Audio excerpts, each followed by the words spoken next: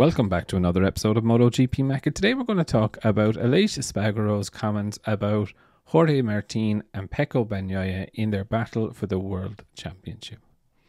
So, firstly, he started talking about Ducati and saying it really depends on what is going to happen with Ducati. If they want a satellite rider to win the championship, or if they want the full factory bike to win the World Championship.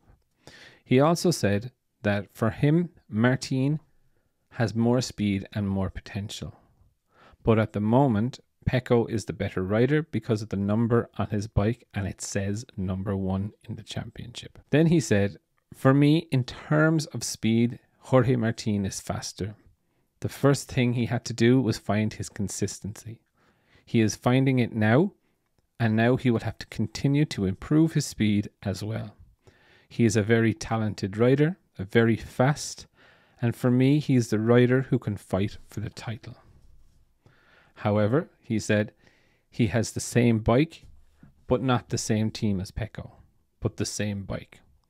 But we will have to see how Ducati will handle the situation. If it wants a private satellite team to win the title, let's see how they behave.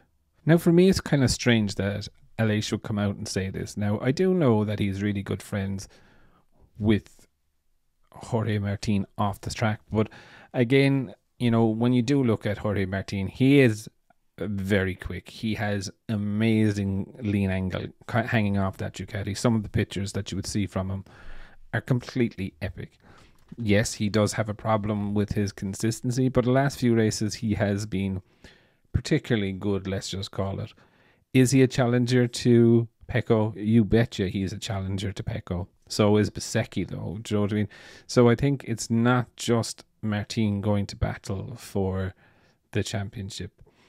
Now, I also do find it funny where there's kind of a narrative here where he's kind of saying, you know, Ducati will show favoritism towards Pecco. And Domenicali actually came out and said about this. He's like, if they're fighting another brand and a Ducati bike doesn't have to necessarily be Pecco is in that battle or leading that battle, then they will try and look at enforcing team orders to help maximize the potential for Ducati to win the championship. However, though, if it was two Ducati riders or three Ducati riders, then there would be no team orders or favoritism shown you know, they can fight it out on track without any interference from the pit wall. And for me, I think that's a fairly level headed. Is it going to happen? I don't know.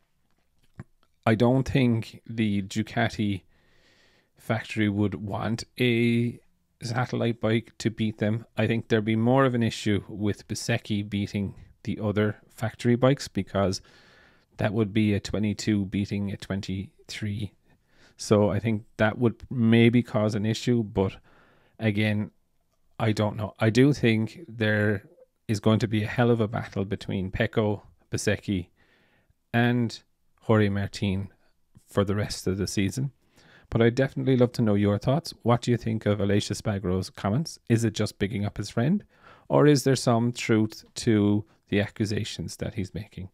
Definitely leave your thoughts in the comments below, and I'll be back again tomorrow with another video.